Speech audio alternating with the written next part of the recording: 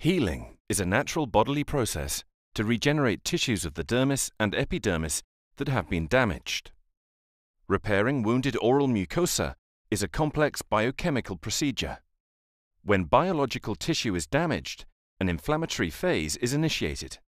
This generates a first clot with platelets and subsequently fibrin and fibronectin, which together with an immediate vasoconstriction minimize the spontaneous bleeding that occurs.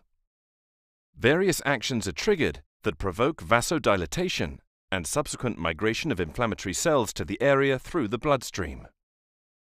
Lymphocytes and macrophages then cleanse the area free of waste and bacteria. Subsequently, the fibroblasts migrate over the lattice and begin to generate collagen. Applying Gengigel, hyaluronic acid, to wounded oral mucosa accelerates the process of joining the fibrin and fibronectin matrix, thereby facilitating the migration of fibroblasts.